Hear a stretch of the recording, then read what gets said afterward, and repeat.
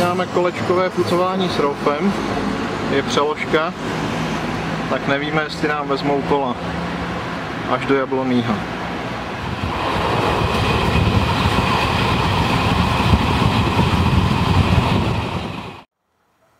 V noci byla pěkná kosa.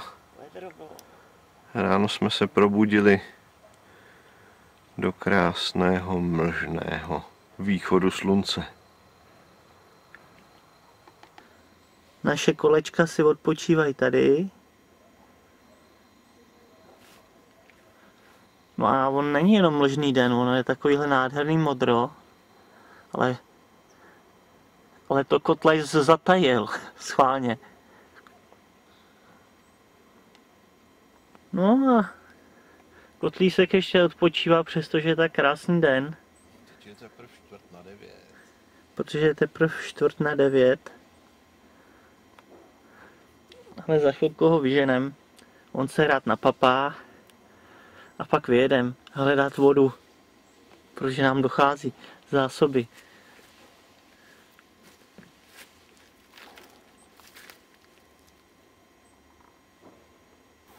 Tak vyrážíme ze spacího místečka nad Kraslicemi do Lubů. Zpočátek a kostelní jsme vyjeli na Vysoký kámen.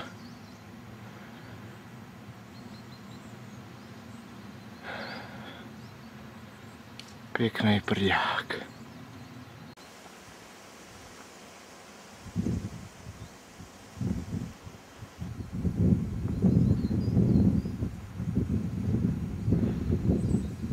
Po jasné noci s bohatou rosou se udělalo nádherně. Před námi půvabná česká krajina.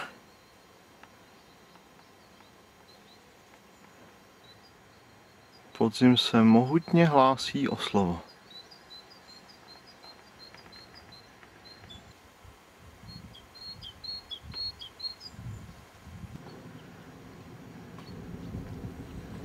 A když je ten vysoký kámen, právě stojíš na něm. A na vrcholu pohledový kámen, ze kterého už nic nevyčteš.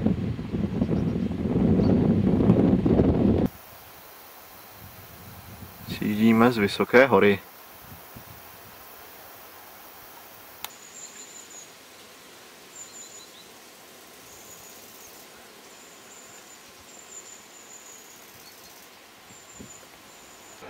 Dorazili jsme do Lubů na náměstí. Zde houslista na země kouli. Na náměstí dále krásný mariánský sloup. Stavili jsme se na pivo v hospůdce. Plný karikatur.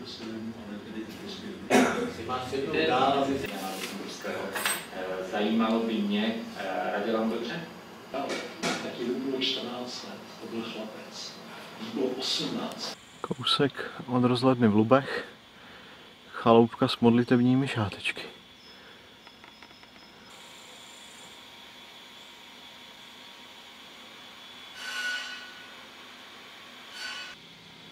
Kousek od baráčku. Mohutná stará lípa. Tak jsme u ní, u rozhledny v Lubech, u golfového hřiště.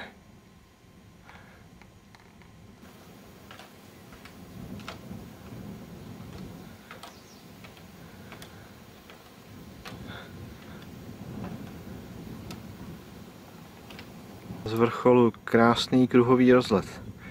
Na golfový hřiště, golfový rybníček. A pak nekonečná pole okolí.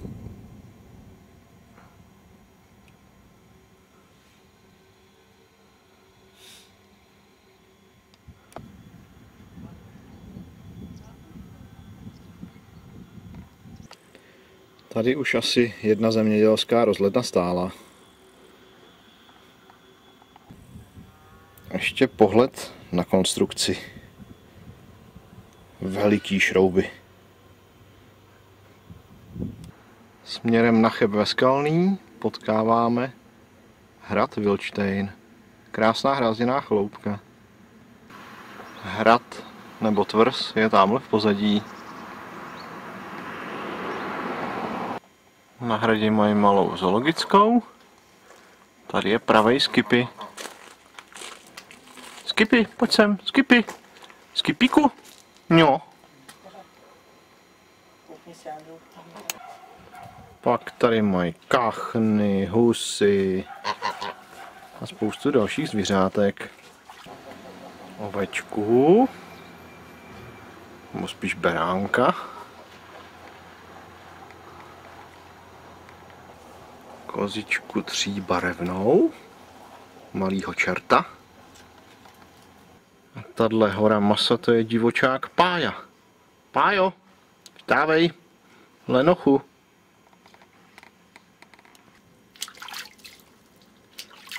Vodomilka.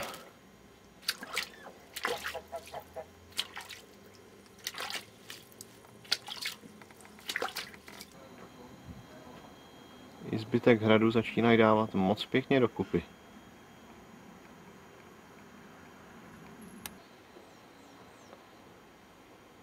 Desetiminutový šot ze skalné. Starý rybník zříceni na hradu mezi rybníky.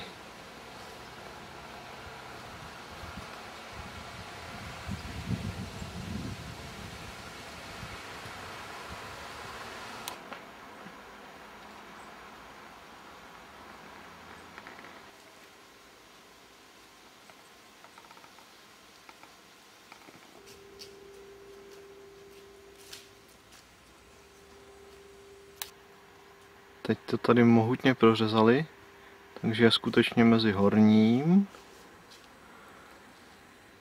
a spodním rybníkem. Pohled do podzemních klemp.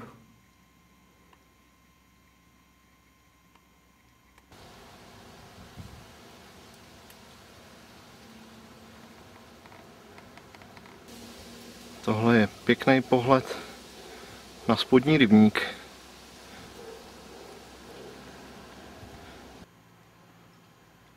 Uvnitř zachovalé klemby a sloupy.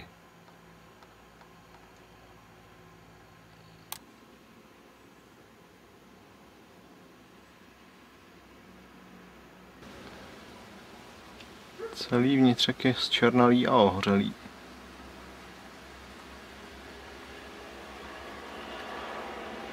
Toto je náš nadějný cyklista. Čekající, aby jsme mohli našlapat další kilometry. Profrčeli jsme Františkovi lázně. Zastavili se u zřídla Natálie.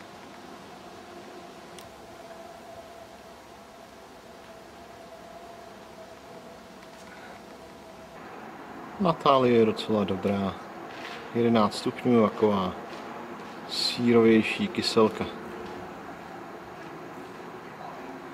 A je to tady moc pěkně upravený parčík.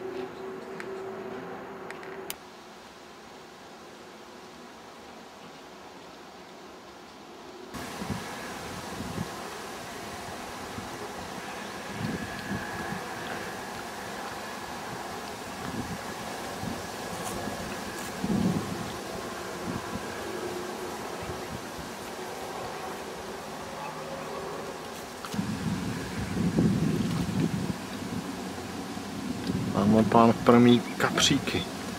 Voda se doslova vaří.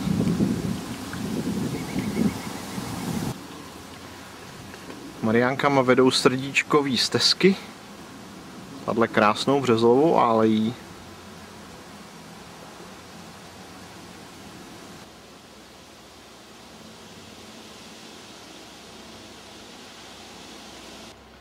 Všude v okolí jsou kaolínový doly. Tak tohle je možná bývalá železnička do něj. Přes rokem sešel a už jsme asi na rozhodničce v Mariánských lázních, Františkových lázních.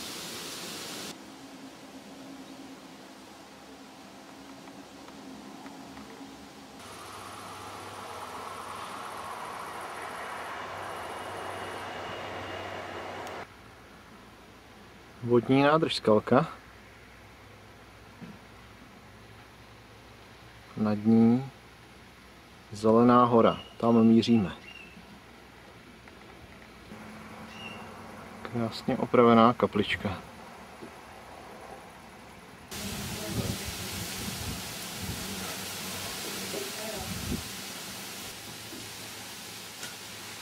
A blížíme se. Objeli jsme skalku po hrázi a zjevil se před námi krásný smírčí kříž. Blíží se svině pomalu. Fuj kopce. Rýtkovi to už jde taky stuha.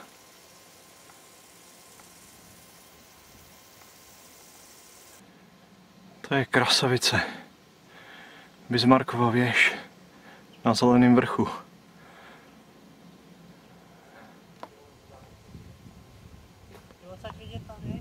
Minulý rok byla za 2 miliony korun zrekonstruována do takhle nádherných podoby. Krásný výhled na skalku. Na cheb.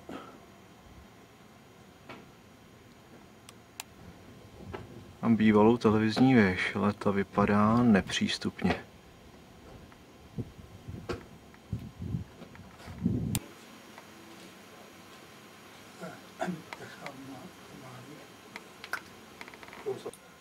Kolo schodiště jsou vytesaný runový nápisy těch, kdo přispěli penězi nebo svým umem k postavení rozhledny. No město se o to nějak postaralo, jako no, město, že to zadalo, ale nevím, nevím. Tyhle runové nápisy jsou vlastně na celém schodišti.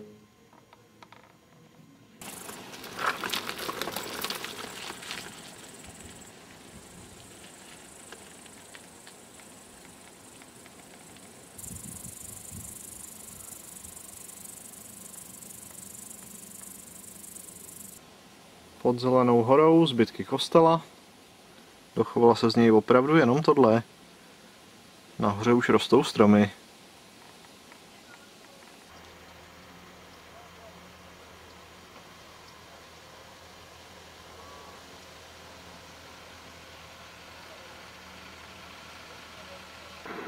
Zatopený most v Jesenické nádrži.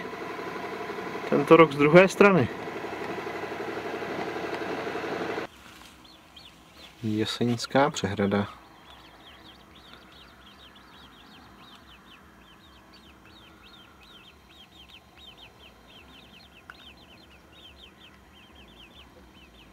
Tak a tady vede pod vodou silnice. Tak po pás se dá přejít až sem na tenhle břeh.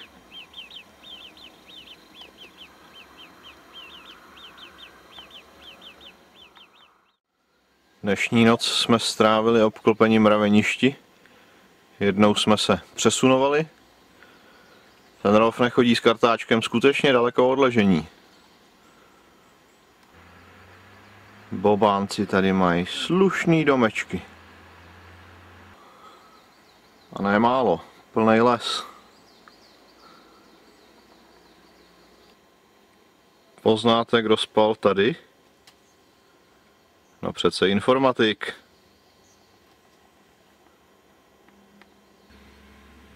Razíme k hranici. Tohle je Doubrava s malovanými baráčky.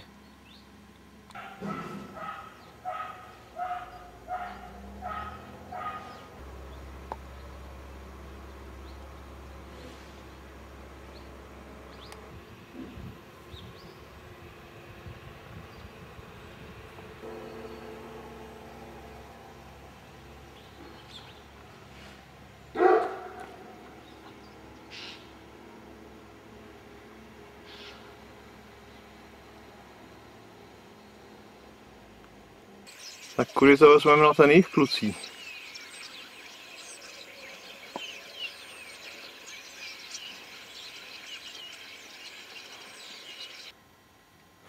pozadí Dyleň, pozorovací stanice pro vojáky.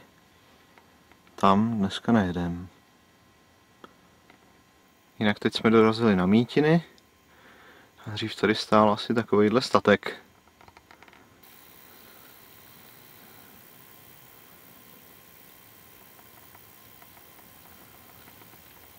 Osvěžení jsme nalezli u železitého pramenu. A tenhle bubla bubla teda není žádný troškař. To je pořádný pramen. Kyselka moc dobrá. To nebude střílet jak šampus. Dáváme tady odpočinout unaveným zadkům.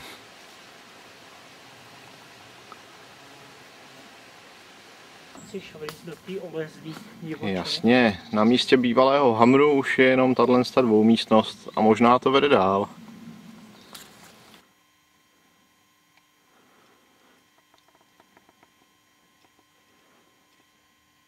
Na stropě mohutný hák. Tak pojďme na denní světlo, to bude lepší.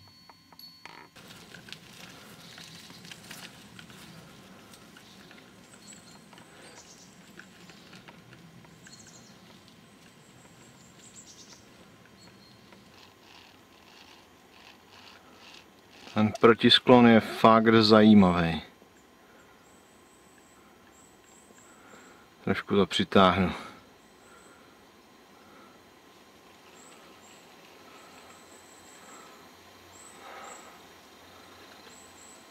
Taky pěkný. A pěkně nahoru. Sjeli jsme do Vysoké. Zde kostel, který byl zdevastován v roce 1847, nemá střechu.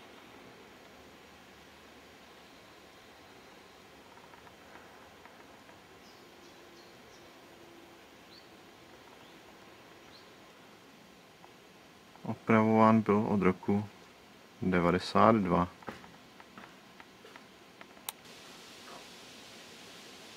Na zdi kostela ptačí budka.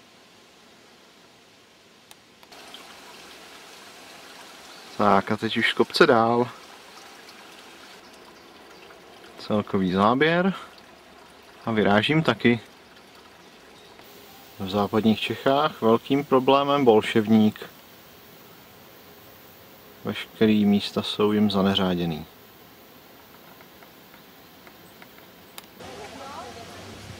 Zámek Kinžvart.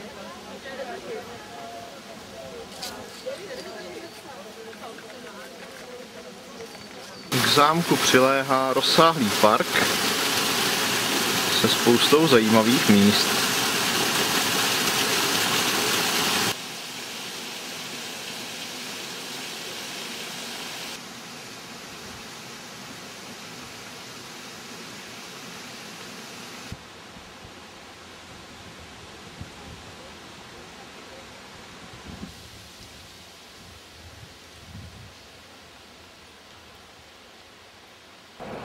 Tak jsme dorazili do Lážní Kinžvart.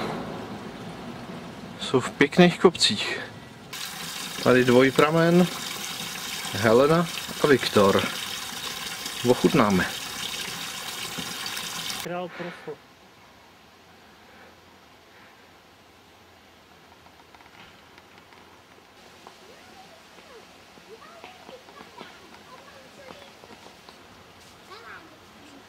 A už to vlastně zase skoro není kopcovatý.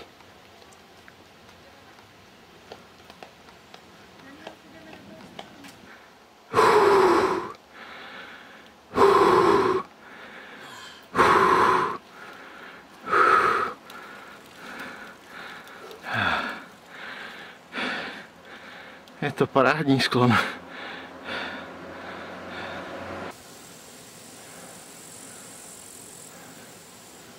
Skoro rovinka. Chvála Bohu.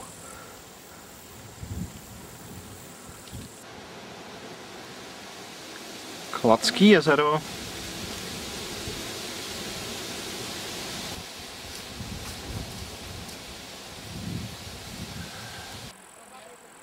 Naučná stezka Kladská.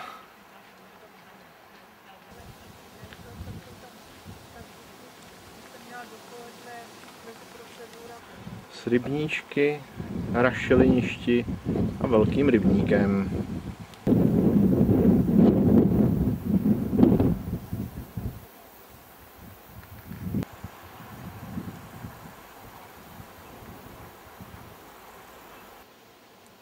To je temná rašelinná voda.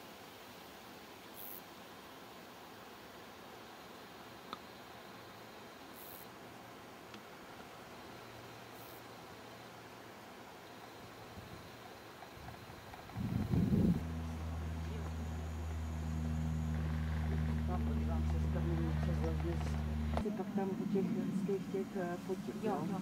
Ta voda není špinavá, jak je tady to, to naš, ta rašelina, tak je to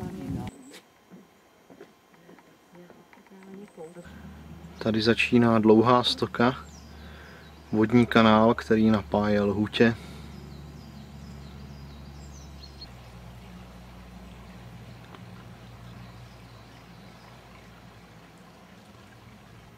Kanál je dlouhý přes 30 km a má spát 35 cm na 100 metrů. Dorazili jsme k Smraďochovi. Jsou to bubla bublové. Když tam dáme to noční, no prostě něco provede.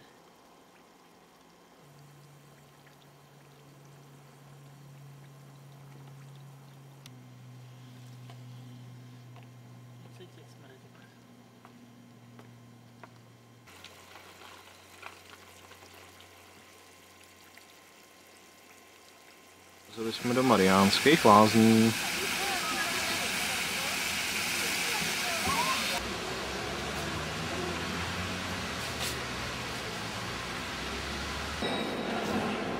Kolonáda je nádherná.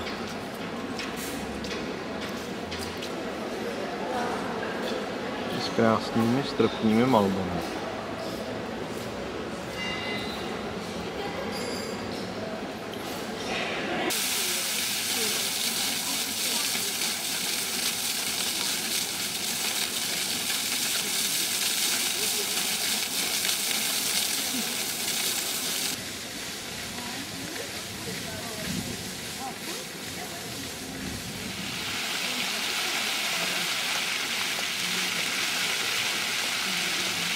Fontána mění tvary, každou chvíli na něco jiného.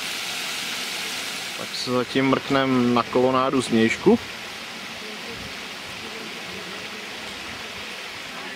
A už nám pustili zase něco jiného.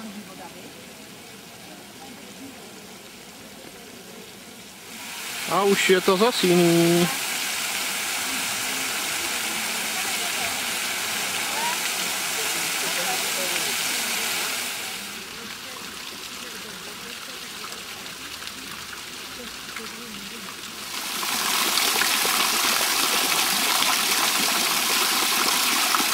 No odjíždíme pryč. Přespali jsme v Plané a ráno přejeli do Klenčí, tradičního chodského kraje. Na nádraží tradiční chodská keramika. Talíře jsou fakt po celý nádražní budově. Tady místní prodejnička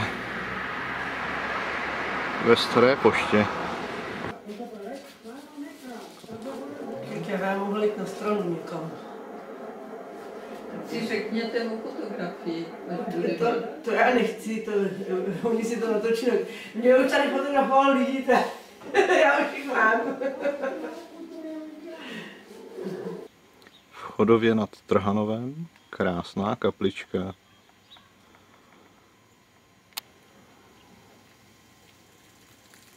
Na náměstíčku také Smírčí kříž. Přejeli jsme do Trhanova, kde žil Lomikár. Potraviny u zámku vlastní Maria Sladká, asi Kozinová, jak příznačné. Z celého zámku je nejzajímavější krásný chrlič. Na náměstí u Rybníčka pomník Jana Husa. Tohle je asi nejlepší pohled na Trhanovský zámek. Už zase na cestě směrem na Hrádek.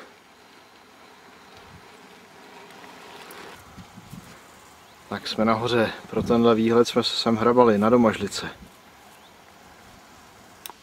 A hlavně kvůli Kozinovu pomníku. Tady ho máme, Kozinu. S čakanem a se psem. Loví zlato. Našli jsme zlato.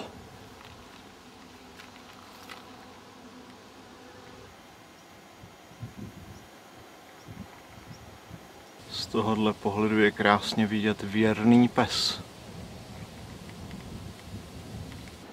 Pozadí pohled na Riesenburg a Koráb. Možná také naše dnešní cíle. Kostelík v Oujezdě.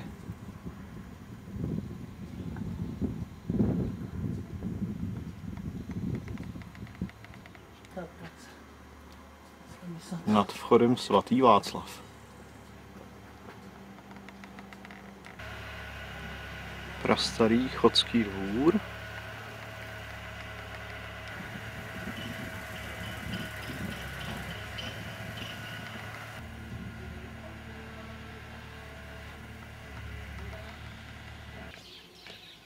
Najdete místního česílka.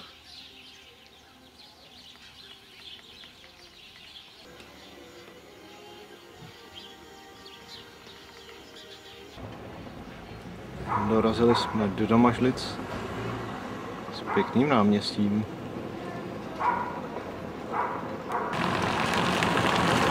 Městská brána.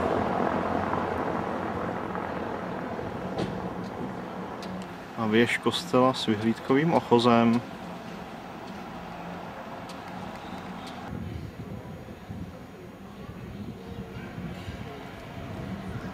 Chodský hrad s krásnou štíhlou věží.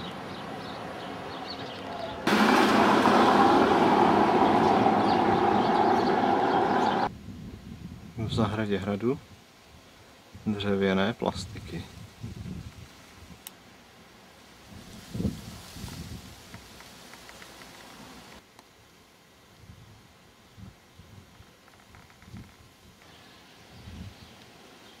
18. hodině už jenom příjemné věci.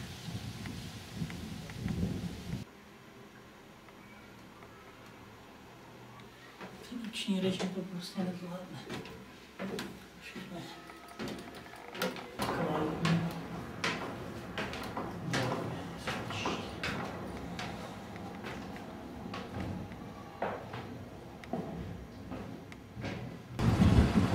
Z věže je uchvatný pohled.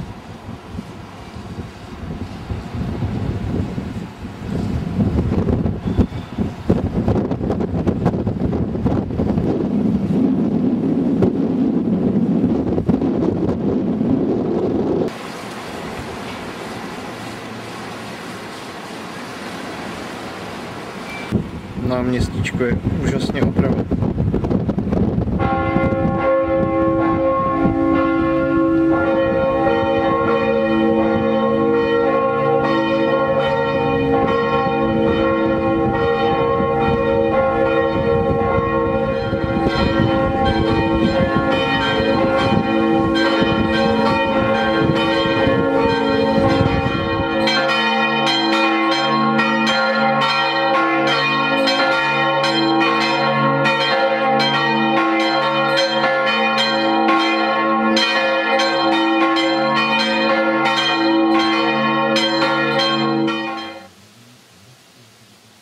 Smolov. Mají tady být starobylé valy.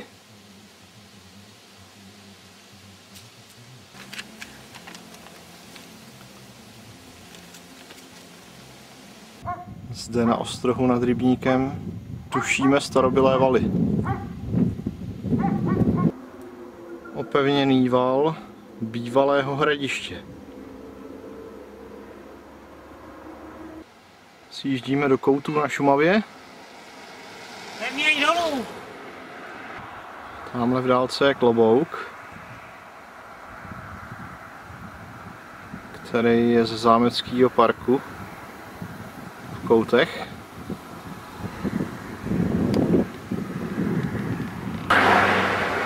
Tamhle v pozadí rozhled na koráb. Tak jsme si ten kopec jeli, aby jsme ho zase Tamhle. Koutský gloriet. Klobouk.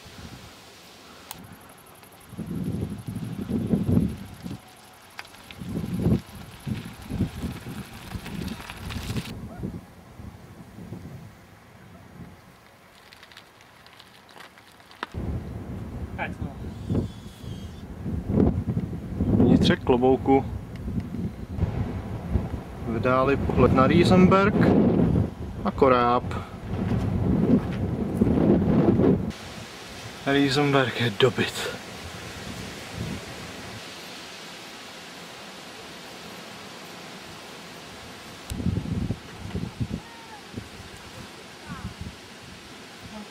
Rozhled z Riesenberg na Gdyni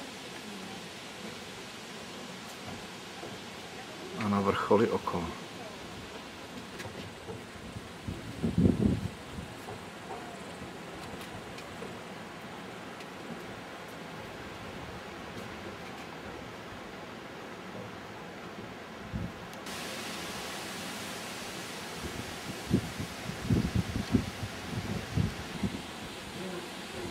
Plno zbíhajících se alejí.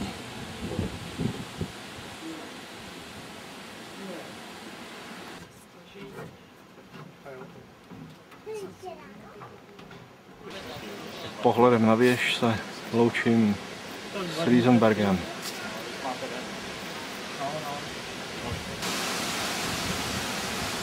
Tady je dobrý boční vítr.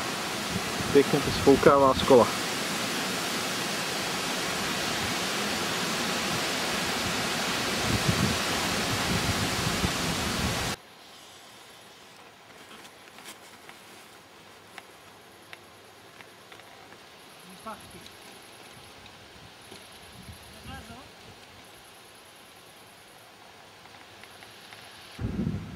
Riesenberg v pozadí. Tady se člověk musí hodně zapřít do řítek, aby se nepřevrátil dozadu.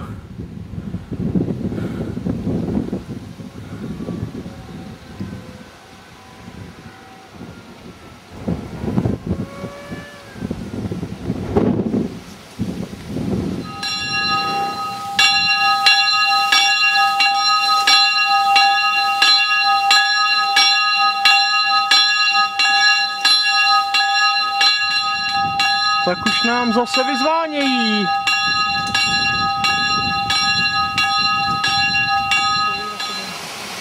Okolo Holubova mlína k místu dnešního spaní. Škola a obecní úřad Milívči. Tady někde v okolí přespíme. Do téhle školy bych taky chodil rád.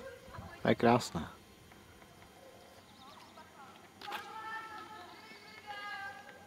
Dneska nejlepší spací místečko pod Mohylama. Teď už razíme do Domažlic na vlak domů.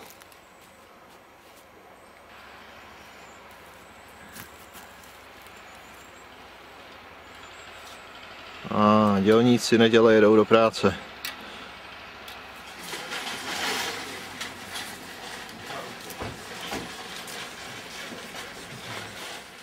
Teď už je na nádraží pár neškodných přestupů a jsme doma. Mocnými pohyby svalnatých nohou.